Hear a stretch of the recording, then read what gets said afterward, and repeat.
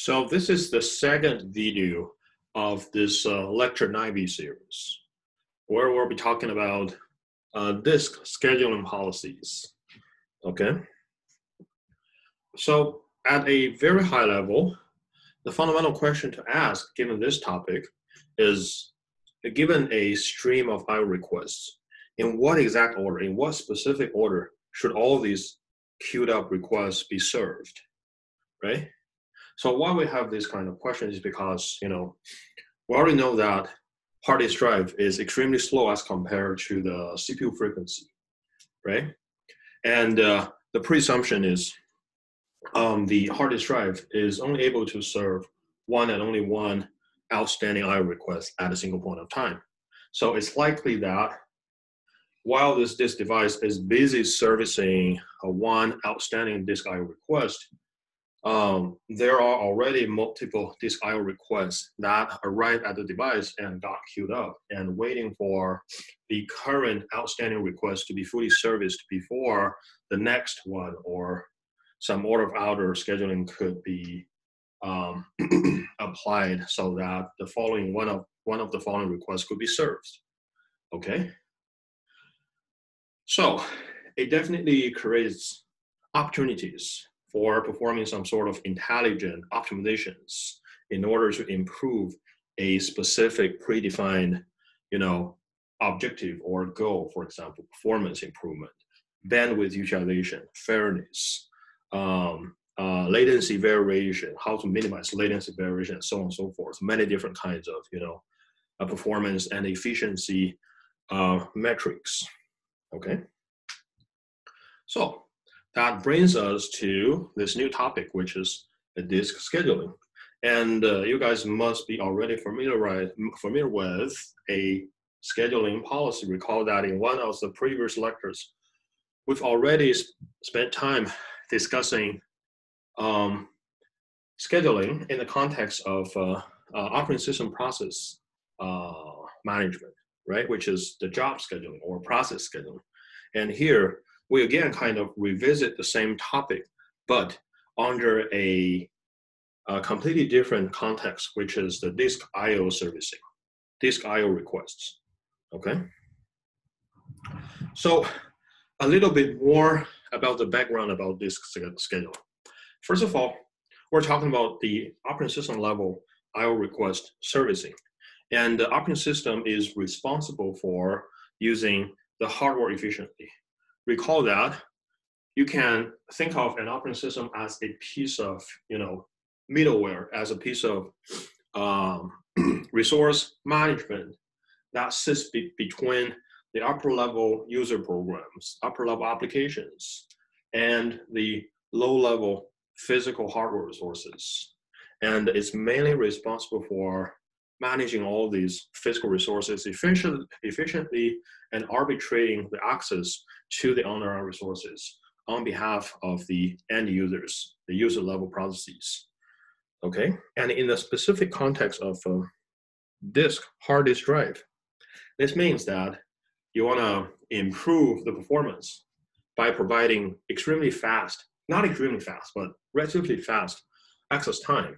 And at the same time, you want to maximize the available the, the, the utilization of whatever available for in terms of the disk bandwidth, right? Recall that a disk is relatively fast. It's good at supporting large sequential IOs, which has some, something to do with the uh, high, um, the, the disk bandwidth, okay? And uh, since, and uh, since at any time, it's likely that uh, the IO request already arrived at the um, the, the, the, the gateway or the queue or the buffer, whatever data structure it is, whatever component it is, it has already arrived at the disk and waiting for the disk to be uh, to, to, to finish servicing its current request and drag another request. So it creates opportunity to apply some optimization strategy, which is to, you know, effectively and intelligently reorder some of the requests that got queued up at the device to be able to, be able to effectively meet a certain predefined uh, objective.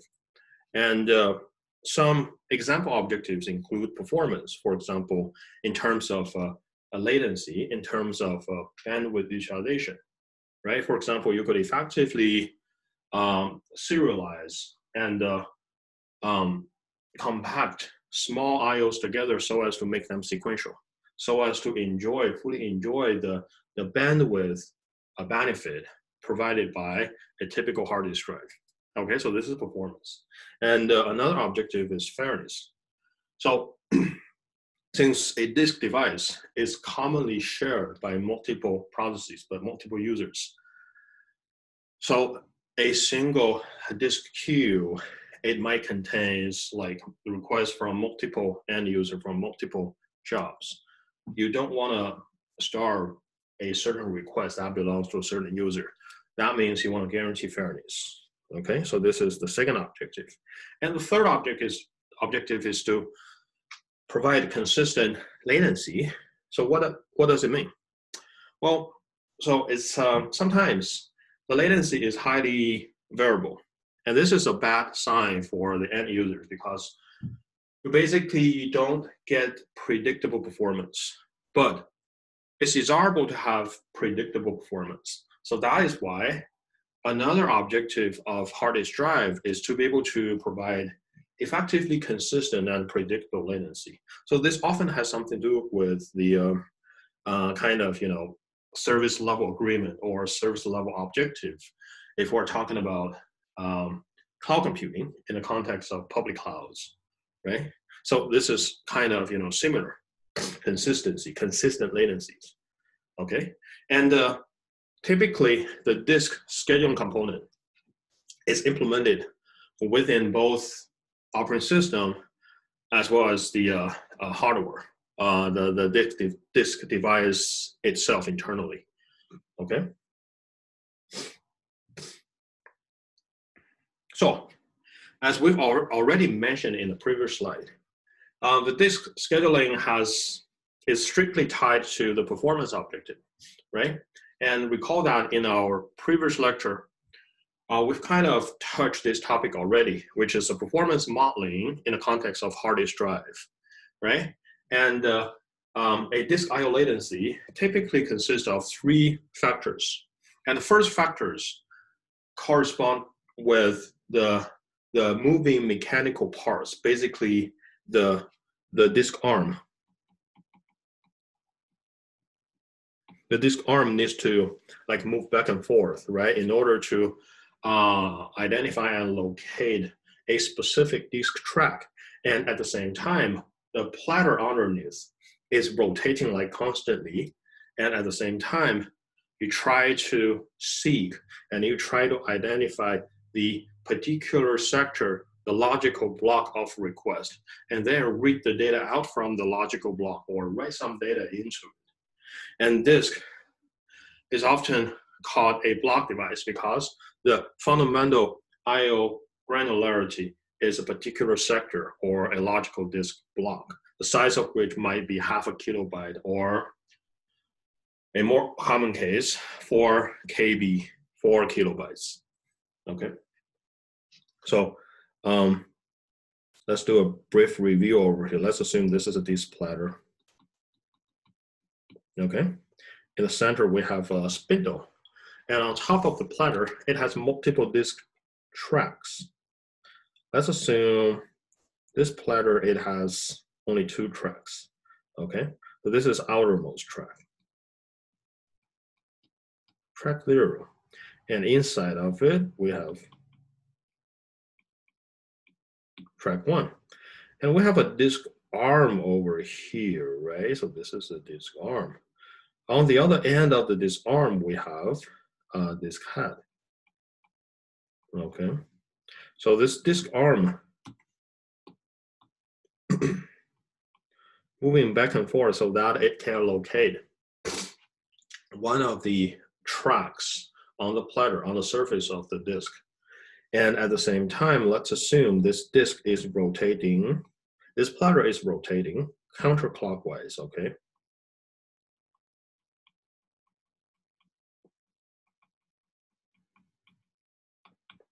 And uh, the presumption of this rotation uh, direction is that a disk platter could only rotate with a single, with a certain direction.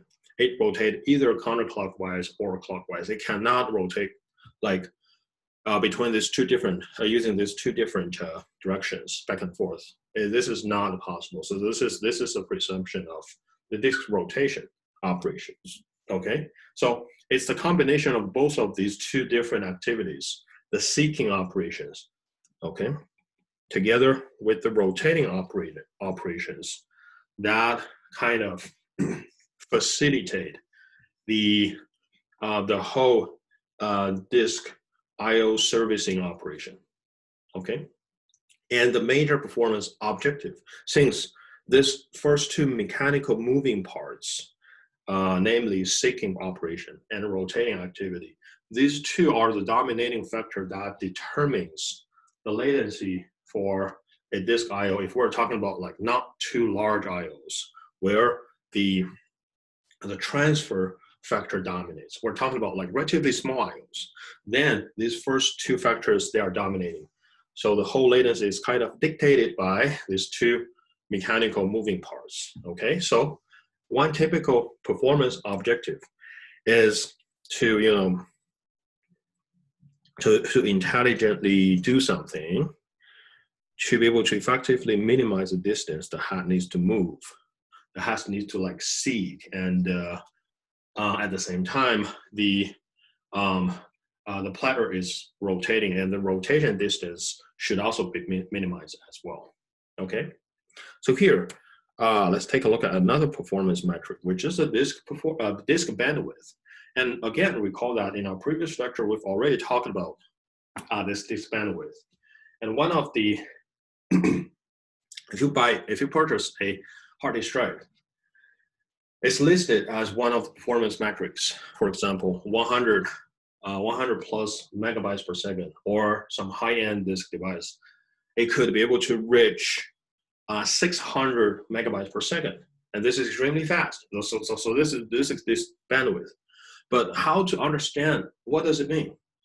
Well, it's defined as the total number of bytes that get transferred uh, during a unit time okay, divided by the total time between the first request for services and the completion of the last request transfer, okay? So basically, the total amount of bytes that could be transferred uh, within the time unit, and the time unit could be a second typically or a minute, okay? But a minute is like unpractically large, so often we're talking about like per uh, per second uh, amount of data transfer. So this is the disk bandwidth metric, okay? So keep that in mind. And we'll be talking about that in the next couple of slides. All right.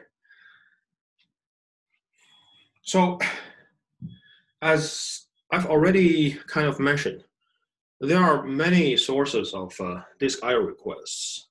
So the operating system is used to provide the uh, resource management functionality to the upper level applications to the user programs. So the user programs, the user processes are a major source of the disk I requests. But it doesn't mean that operating system doesn't need to access the file system, access the data stored on a hard disk drive or a secondary storage device. So operating system, as well as some system level processes, they are also the source of uh, generating, that generates the disk IO requests. So these are all the different sources, which is kind of easy to understand, right? Okay, so typically an IO request is uh, can be divided into these two different parts, read operations, read request, and write request. And IO request typically consists of uh, the following information. For example, consists of a disk address, right? Where the data is located or where you want the data to be stored at. And also the memory address, right? The, this is where the, um, if you want to read something out from disk and store it within the memory, so this is a target memory address. Okay, so we have memory address. And we also have, you know, the amount of data transfer. So this is typically defined as one or multiple sectors to be transferred during the IO request. The size of the data in terms of the number of sectors, okay? And these three high-level information are enough for constructing a particular IO request. and at the operating system level, within the device driver system software, it maintains its own software-defined queue, software-implemented queue of outstanding IO requests that get queued up that haven't been serviced by the underlying physical hardware, which is hard disk drive. Okay, and often per disk or per device, it maintains a single queue within the context of operating system. Okay, and uh, the the idle disk can just immediately work on the one of the outstanding I requests, but the busy disk means the work must queue because presumably the disk is only able to service one and only one request at a time. Because hard disk drive doesn't have this, uh, you know, parallelism. It's not able to service requests concurrently or in parallel. And this is one of the major difference between hard disk drive and a flash SSD device. And in the next lecture, we'll be talking about the internal working mechanisms of a flash device, which is able to improve the performance. And a part of the reason is because SSD device, flash SSD is able to service requests in parallel, okay, at a single time, okay? So since disk is slow and is not able to parallelize request, optimizations, uh, scheduling optimizations make sense in this context because there's a queue and you could perform scheduling optimizations on top of the items uh, queued up within this queue. Okay, it only makes sense when the queue exists. All right. So it's not only um, the queue does exist within the operating system. So within the the drive, the hard disk itself, it has a little tiny buffer, which which is the, the depth of which is often an important configuration parameter that directly affects the performance of a hard disk drive. Okay. this is kind of out of the scope, but it's not, it doesn't hurt um, to learn about it, okay? Um, then um, we'll be talking about various classic uh, disk scheduling policies or algorithms. So disk scheduling algorithm, just kind of similar to the, uh, the job, CPU job scheduling algorithms. It's the policies that decide and schedule the orders of outstanding queued up disk IO requests. Okay, so this is disk scheduling algorithms. Um, and of course, the assumption that so so here next uh, we're gonna do some a simple analysis and to basically illustrate the different disk scheduling algorithms that belongs to this disk scheduling policy family. And this analysis is true for either one platter or multiple platters. So here we just assume we're talking about a single platter, right? We call that, we have the 3D dimensional, the 3D graph illustration about the internal mechanism of hard disk drive, right? It has multiple platters. And uh, we have a disk arm assembly and the disk arm assembly is where the disk arm is attached with. Okay. Arm. Platter. Within the center, we have a spindle, and it's uh, it's rotating, let's assume counterclockwise. And here we assume that analysis is true. It applies to both one or multiple pl platters. Okay? So, and we use this single simplified toy-like example workflows to illustrate the various different classic disk I/O scheduling policies. And here we look at a string of integers where each integer. So so here we you can kind of think of this uh, string of integers as a outstanding request I request queue. Okay, it's an example I request queue, and each and every integer within this queue within this workload is a disk address. But how understand this disk address? Because you can only lo uh, locate, you can only identify a particular sector because a particular sector belongs to both a certain track and also within the track it has a sector number it's a track number and sector number okay so you need to you need this two-dimensional information it's a 2d information you need this two-dimensional information to be to be able to identify and I uh, locate a specific sector ID, right? So here we understand this particular number as the cylinder ID or the track ID. And we kind of release the, um, we don't assume the sector. And the sector is implicitly, the sector information is implicitly embedded, which is not explicitly handled uh, by this workload, okay?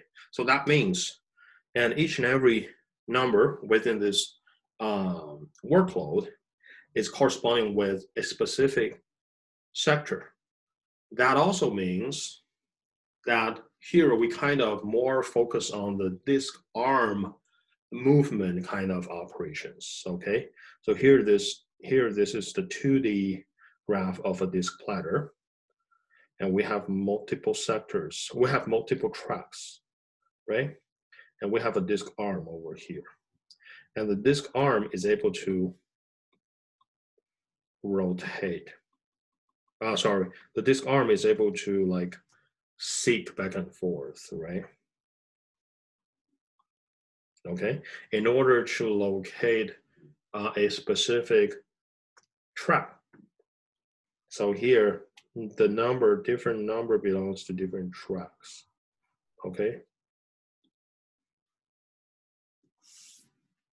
All right, so initially the header, the hat pointer pointing to the track ID, which is uh, 53. Okay. So the very first classic um, disk scheduling policies that we're going to introduce is FIFO, first in, first out. And remember, we've already talked about this before, but in a different context, where we discussed the CPU job scheduling policies. We've talked about the FIFO policies as well, right? So it works exactly the same as the uh, the disk, uh, the the job scheduling policy, where it specifies under a FIFO policy, the operating system, the, the, the, the disk device serve the IO requests just following the exact order that they've arrived at the device. Okay, so this is FIFO, which is straightforward and simple to understand. Okay, so here it shows the, the workload and this two-dimensional graph. So how to understand this two-dimensional graph is this x dimension. This x dimension is obviously the tractor dimension. Okay, so this is tractor. Tracker. The track, sorry.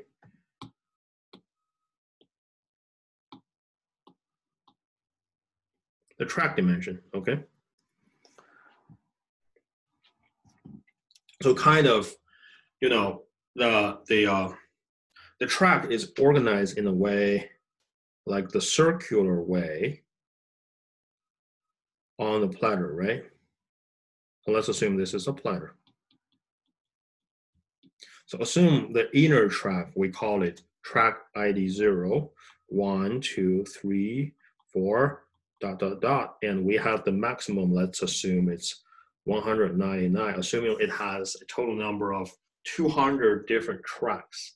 And over here, this any single integer within this workload, let's say 67, 65, these two are relatively close tracks somewhere over here, okay? And this is the first dimension, this is x dimension. And note here we have a y dimension. So what is this y dimension?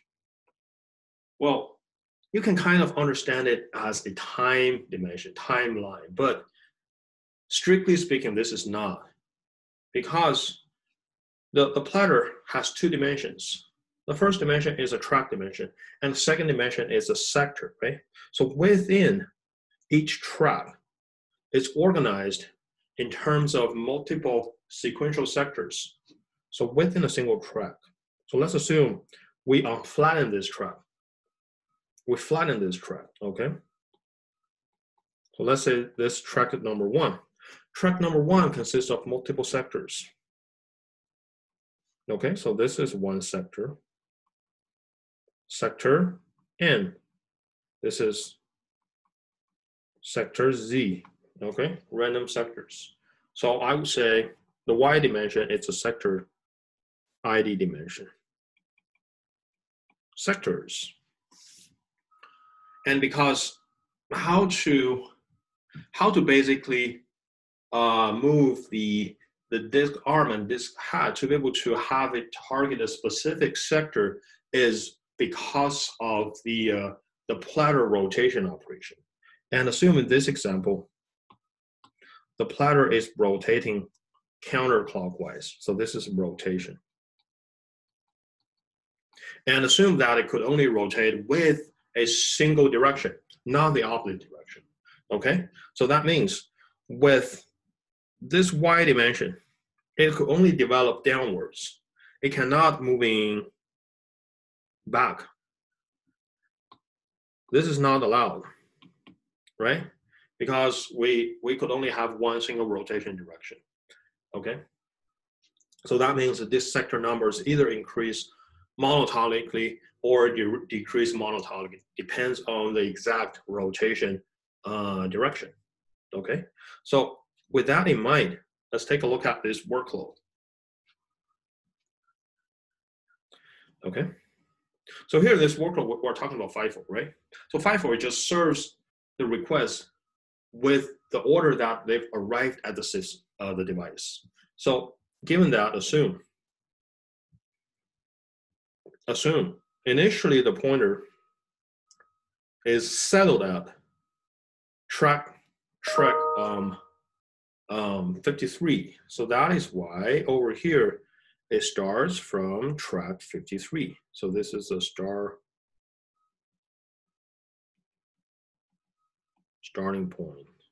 Okay, and then follow the, the time order, the time timestamp order where the request arrived at the queue. And the first one is 90, 98, and followed by the second one, which is 183. 183 is over here. And then third one is 37. 37 is over here. And this is another, you know, track on the opposite direction. You have to move your disk arm. Okay, so this essentially captures the disk arm movement. And assume we have a disk arm over here. And the disk arm is rotating. Okay and try to identify and locate a specific um, track number of request. I guess hopefully this is clear enough to you guys, okay? And then just follow the uh, the specific order of the request of the uh, the workload and until it finishes the last point, which is 67. And over here, 64, 67, they are close enough, okay? which is typically a good thing, which is the desirable thing that that the disk hard disk drive desires, because you don't need to move the disk arm um, with a long distance. Okay, so a typical so under this kind of scenario, the question is, so how do you calculate the total amount of the total distance of a, a disk? So disk uh, are movements, namely the total number of cylinders, the total number of tracks that has been scanned by the disk arm, this piece of hardware, right? So how to calculate this in the context of FIFO algorithms is, so over here, we do, so you first calculate, so it's actually, it's a zigzag, right? Zigzag. It's following this extremely bad pattern. So how to calculate is the total amount of uh, um, distance, the total number of cylinders that it travels is just, we, we, we, we calculate the segment length and we sum them up together, okay?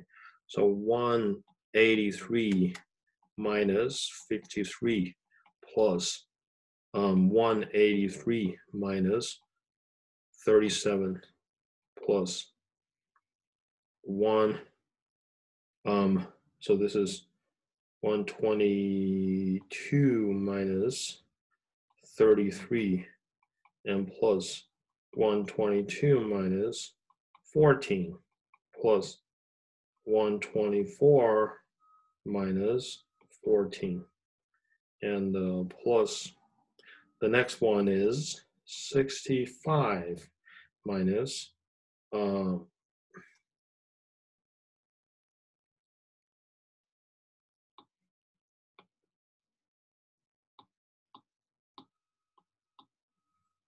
So the next is um, 124 minus 65. And the last one is 67 minus 65. You sum all these up together, which gives you um, 640. So it basically traveled this total amount of cylinders, 640 cylinders, okay? Which is also listed over here. so this this is a sim again this is a simplified assumption. Where we don't we don't kind of capture this rotation distance the platter rotation distance but in practice this rotation distance is also kind of affected by the a specific uh, disk scheduling policies. But over here we kind of uh, um,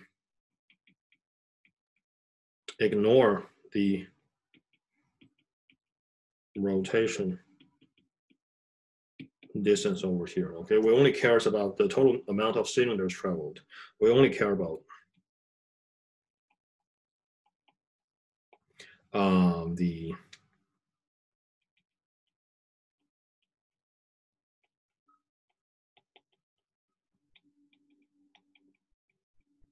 only cares about the disk arm seeking distance. So this is assumption that you need to keep in mind in order to simplify this whole problem. All right, so the next um, policy is called SPTF, which is a short of shortest position time first. So the idea is also straightforward. You just select the request that will take the least amount of time for seeking and rotating. And we put it into these parentheses because it's kind of out of scope. We don't assume rotation distance. So we only care about the seeking distance over here, okay? It's also called shortest seek time first, SSTF, if the rotational positioning is not considered. And this rotational position is not considered, is the, the common assumption, okay? All right, so let's take a look at how it works uh, within this simple example. And again, the head starts from the cylinder or the track ID of 53. And because it kind of works as a greedy algorithm, it's kind of like the shortest job first, remember? Shortest job first, where you only serve the next shortest job. In this case, you translate the shortest job in a form that fits in this disk arm rotating, this disk arm seeking process, which is you always serve the next request that is the most closest to you. That takes the least time for seeking. Okay. so obviously the next one, which is close to 53, which is starting point, is 65, right? And then followed by the next closed closest neighbor. and followed by the next closest neighbor, which is closest to 67. Obviously, it's um, 37, and followed by 14. And then the next one, there's no close by neighbors, close by requests. You look back and see for the rest of the requests, which one of them is the closest, which takes the least amount of time for seeking, for moving this disk arm piece of hardware. It turns out it's uh, 98. And then you go all the way to the rightmost and until you reach the last point, which is 183. And in the context of this greedy algorithm, the greedy policy, which is shortest positioning time first, obviously it reorders each and every request within this queue, right? It performs a totally reordering of all the requests in this example. and it has a benefit. The benefit is because it reorders everything, it kind of translate random access into um, sequential access, which is well suited for disks. Okay, so this is the uh, motivation the or the intuition behind the shortest position time first algorithm. In order to calculate the total amount of cylinders or tracks that are covered within this process, you do the math, right? So first of all, 67 minus 53. This is the first segment. And plus the second segment, which is 67 minus 14, which covers the second piece of segment. And then the rest of the calculation, the third step is trivial. You just cover the rest as a single piece, right? So from the rightmost, which is 183 minus the leftmost, which is 14, you do the math. That gives you a total number of two, 236 total number of cylinders. And if you compare this value with the previous value, which is 640, and obviously this greedy kind of algorithm is a huge win. It's a big win, right? Because it's able to cut short the total amount of uh, seeking distance by more than two times. It's almost three times, right? Improvement, okay, which is a good thing. And more importantly, it's able to effectively translate the random IOs into sequential IOs. Okay? And recall that a hard disk drive is pretty good at sustaining sequential large IOs, and it's really bad. It sucks in supporting random IOs. And those out of core algorithm, for example, out of core quick sort, it sucks. Its performance really sucks in the context of a hard drive. Okay, so this is it. And the next um, policy is called scan. You can also call it elevator algorithm. So why it's called elevator algorithm is you have this disk arm sweep back and forth, okay? And as it go with one direction, you serve requests on the go as you go, okay? So how to better understand this is by looking at the following text. The disk arm, it starts at one end of the disk. How to understand this? One end of the disk, you can understand it. The let's say it starts from the innermost, the spindle part, or from the outermost track. Again, I like to draw on this. So we have innermost and we have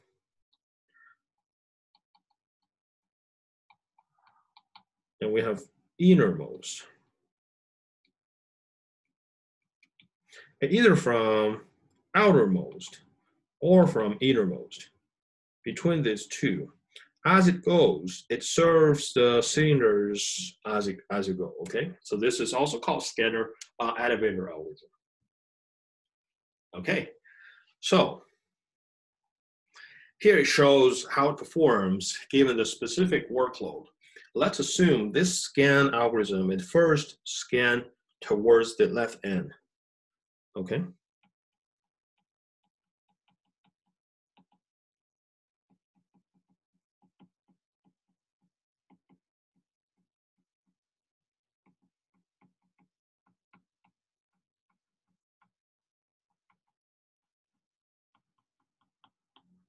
It first scan towards the smaller track IDs. In this case, starting from 53, it just go by one direction, which is the leftmost direction.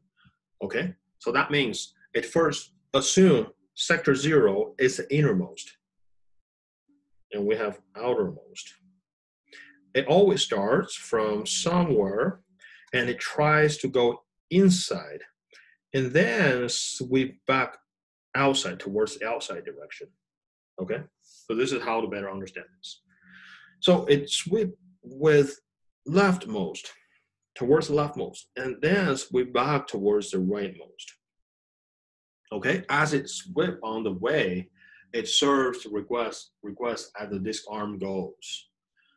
Okay, and over here, if you calculate total amount of sectors, total amount, uh, sorry, the total amount of cylinders that gets covered, you use 53 minus 0 plus the next. So this is the first segment. And the next segment is uh, this part, which is a 183 minus 0. Okay, so this gives you 236, which is exactly the same as the previous example. Okay, so this is the scan algorithm, also called elevator kind of resemble how elevator behaves in real world examples. Okay. And the next one is called C-scan, which is a simple extension on top of the baseline scan algorithm, which is called circular scan. Idea is similar against uh, with the previous one. The only difference is that instead of sweeping between these two, uh, both between uh, both uh, two directions. It only sweep within one direction. So this is the most important assumption, implication. Okay, so as long as it reaches the other end, it circle back, it sweep, it move back without serving any request, right? And then um, starting with the predefined single direction again. Okay, so the the the the the impact or the fact that it brings to the performance is it kind of pro provides a more uniform wait time than the scan because for scan the the request on either end either the leftmost end or the rightmost rightmost end they took they kind of starve because the request that clustered in the middle tends to be serviced like the fastest okay? Because you need to travel all the way from the leftmost to the rightmost in order to serve the request clustered spread towards one extreme. If you have just too many requests in the middle, you kind of starve the request on the other extreme and a little, a little bit. But that doesn't mean like starvation forever. It just starve for, um, it impacts the fairness a little bit, okay? So in order to solve, provide better fairness, we introduce this uh, single circular scan op operation, and it tends to provide a more uniform wait, wait time as compared to scan. Okay, so how it works is over here, let's assume is for this particular C scan, it can only scan towards the right.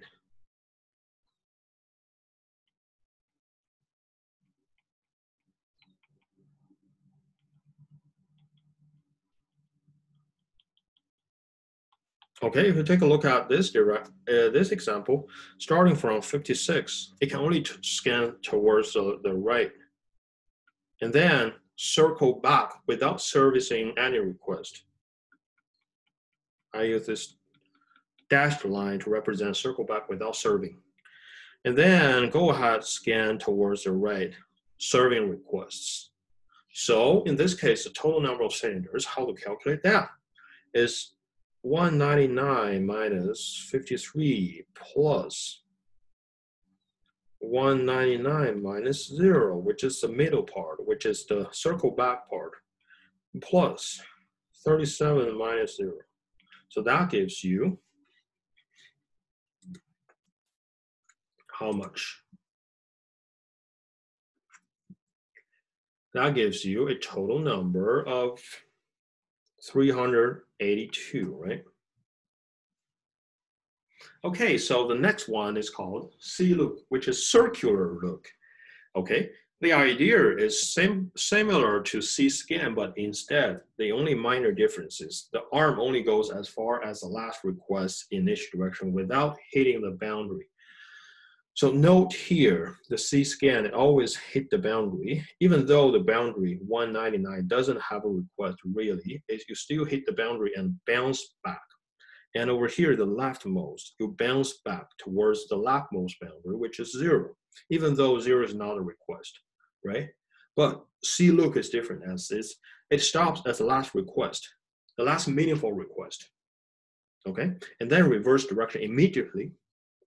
So a look is a version of scan because scan always touch, you know, the boundary and bounce back.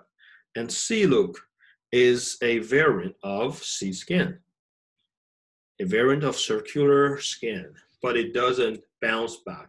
It stops at the very last request and then directly circle back.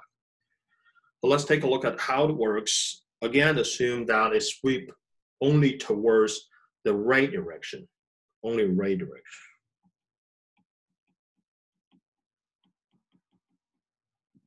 Okay. And over here, starting from 53. And then the last request on the rightmost is 183. You stop over here instead of bouncing back from the boundary, and then you directly circle back uh, I should use the dash line because you, you never serve request as it go back. And then start, stop, stop from 14 because 14 is the one request that is closer to the left boundary, but left boundary doesn't obviously have a request. So stops over there and serve 14. And then move on to the last one, which is 37. Okay, the total number of cylinders, how to calculate, is 183 minus 53 plus 183 minus the middle part, the, the circle back part, 14 plus 37 minus 14. Do the math, gives you a total number of 322. Okay? This is C look. All right, so that kind of completes the disk scheduling policy family.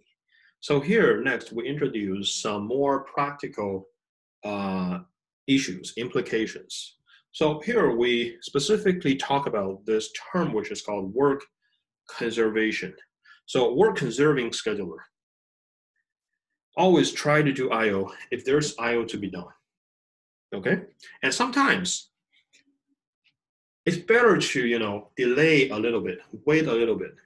Instead, if you anticipate another request will appear nearby and hopefully that request will appear. So instead of like circle back all the way back from the rightmost to the leftmost, if there's a request hitting in like within the spatial parameter is nearby parameter, you just go ahead serve that request instead of moving all the way back to the other end. So this by introducing a little bit this work conservation, by introducing a little bit this uh, so-called procrastination, right? Delay a little bit it tends to work better because IO IO workload always have this kind of you know spatial temp spatial locality property. And this is really good for preserving spatial locality property. Okay.